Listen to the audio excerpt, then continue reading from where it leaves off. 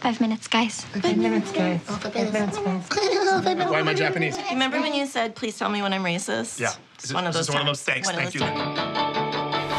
Welcome, the commune. Improv's an art form unto itself. The most important thing is don't think. You don't think, you don't memorize. You don't get paid. So true, but isn't that kind of fun, too? Are you working right now? Are you applying for anything? Uh, unemployment?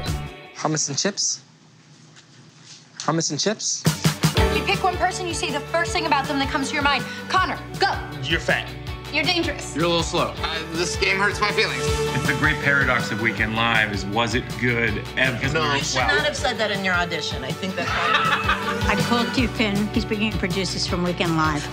Hey Jack, don't pull some showboat. What are you talking you know you always do that. Anyone from the industry shows up, you turn into a one-man audition tape. This is a new program we're working on right now called uh, Cabs for Dads, but my, my critics like to call it Obama Cabs. Okay. We will uh, we will be there. Hey, um, we're auditioning on Thursday for Weekend Live. Congrats, man. Thanks, man. No, I auditioned for the show in 2003. I was inches.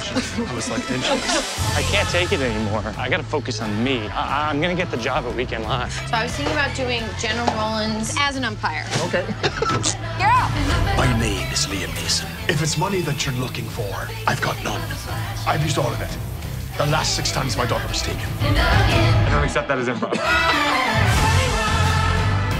I like my life how it is right now. You can't do improv forever, okay? It just it ends.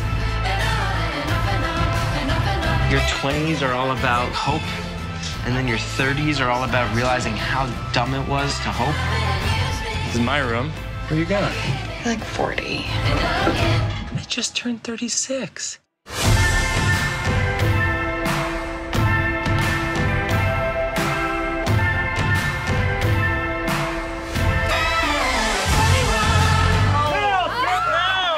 We all said we would wear the same outfit. Everybody agreed. Being a professional. You gotta go.